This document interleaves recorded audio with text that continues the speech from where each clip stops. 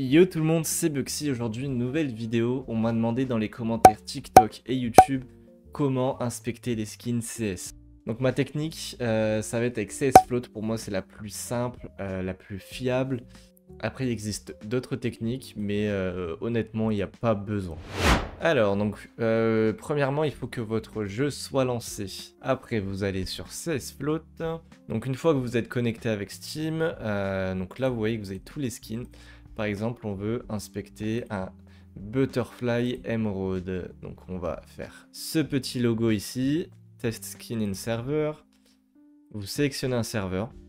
Donc il y a, là c'est les maps, DOS2, Mirage, etc. On va aller sur euh, Inferno. Vous faites Connect to Server. Donc là vous choisissez un camp, on va aller en terreau.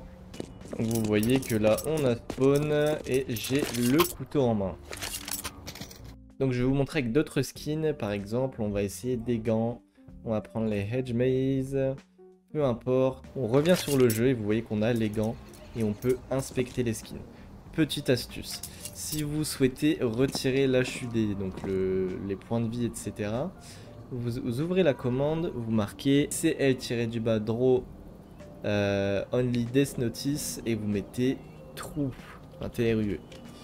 Et voilà, donc là, vous voyez qu'on peut inspecter, faire des petits screenshots. C'est pas mal. Deuxième petite astuce, si vous souhaitez enlever les skins sur le serveur euh, pour repartir à zéro.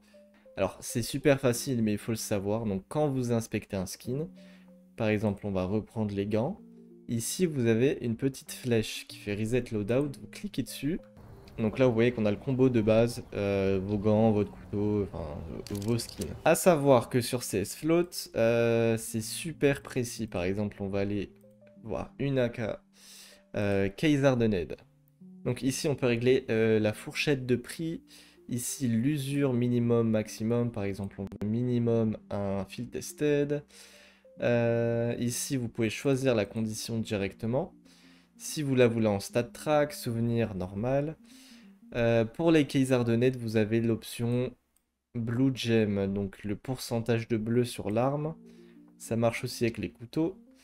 Par exemple, ici, on veut une AK avec euh, minimum 52 de Blue Gem. On va prendre celle-là.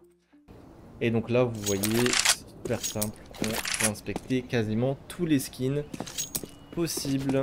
Donc voilà, grâce à ce tuto, vous pouvez inspecter tous les skins possibles super facilement grâce à CS Float.